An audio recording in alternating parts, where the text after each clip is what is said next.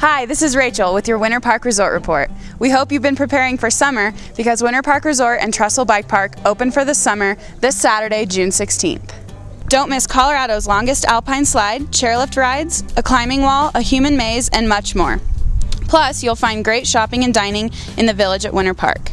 For a great deal, pick up your Coca-Cola Adventure 4-pack for only $199, which gets you four all-day adventure passes, as well as four hot dogs, chips, and Coke beverages, and four $10 vouchers to use in our retail stores. For more information on summer activities and events, Trestle Bike Park news, and all things Winter Park Resort, visit our website. This is Rachel, and as always, stay safe and we'll see you soon at Colorado's Favorite.